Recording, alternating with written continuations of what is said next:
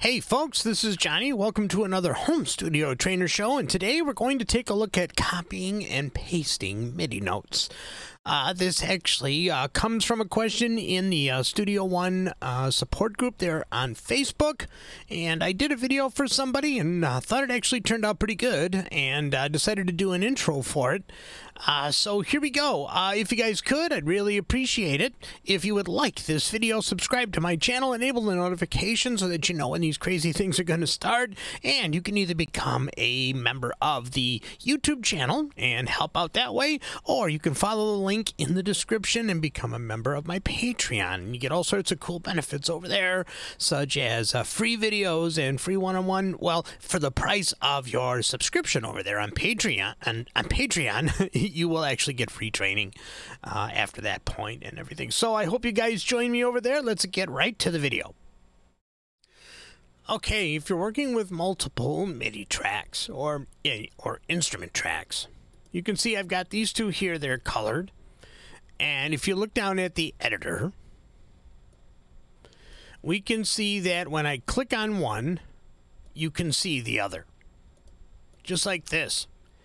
If you are seeing all of the MIDI data down here, that means you have to open this little guy here. It says track list.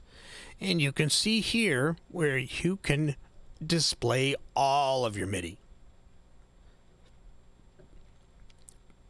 You can easily actually turn one off to display the other. This is easier to do when you have the note color in part.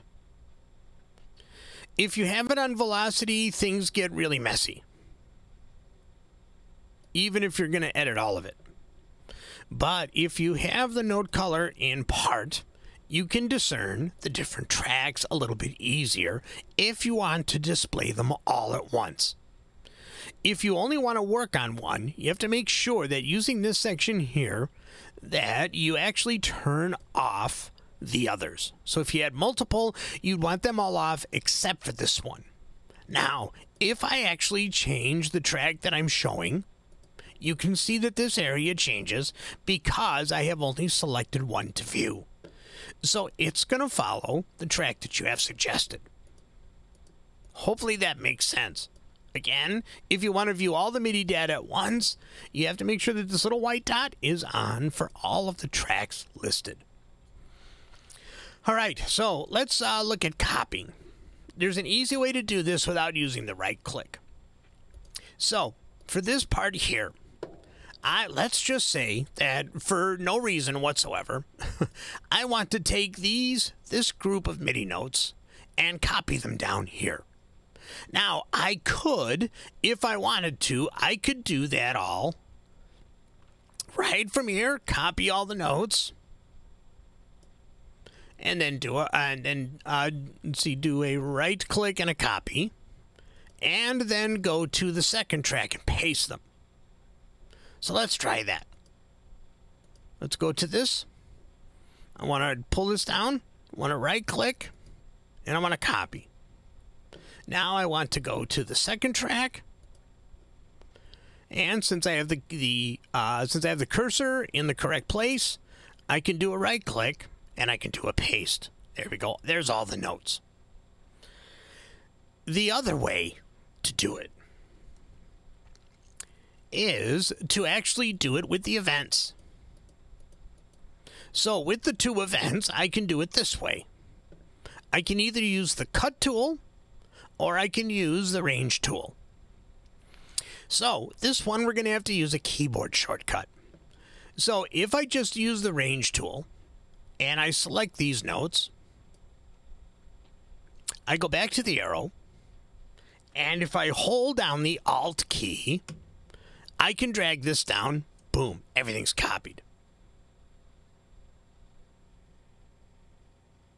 If I want to do that on the same track, it's the same process.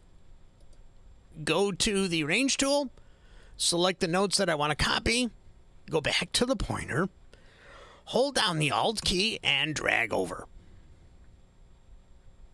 Boom.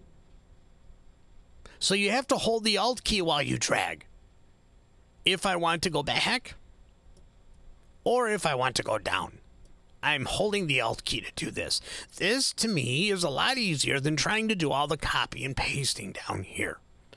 Because then with this, you have to go up, you have to go back, you have to select the different tracks like this. You have to make sure that your track list is displaying correctly when you actually click on a track. Because if you're displaying everything, it's going to be really confusing. But in that case, you if you actually use the note color per part, not pitch, not velocity, it's going to be a lot easier to know which track you're editing. So, in review, let me actually undo all the way back. There we go. So, in review, if you want to copy a, a MIDI section of notes to a particular spot on an adjoining track, use the Arrange tool, select the notes up here in the editor or in the uh, Arrange view, go back to the pointer, hold your Alt key, pull down, and let go of the Alt key. And you can see that all of the information is pasted correctly. If you want to do that on the same track, you do the same thing. Use the Range tool, select the notes that you want to select, go back to the pointer, hold down your Alt key, and drag to the position that you want. Boom. All the notes have been copied. So, hopefully that helps. You cannot do that down here. It gets really confusing down here, especially if you're displaying all your tracks at once and you don't have the note color set to part. So remember, if you want to just display one track at a time, if you've got more than one, make sure all these little dots are off and only the one that you want is on. And then when you actually select the tracks, the information displayed in the window down here is only the information in the track you want to edit from. So I can even take something that I've already pasted, hold down the Alt key, and now I can drag it down here if I want. And now I've got all the information here. So remember, your Alt key is uh, is your savior. If you're on a Mac, it's the Option key. So I hope that that makes sense.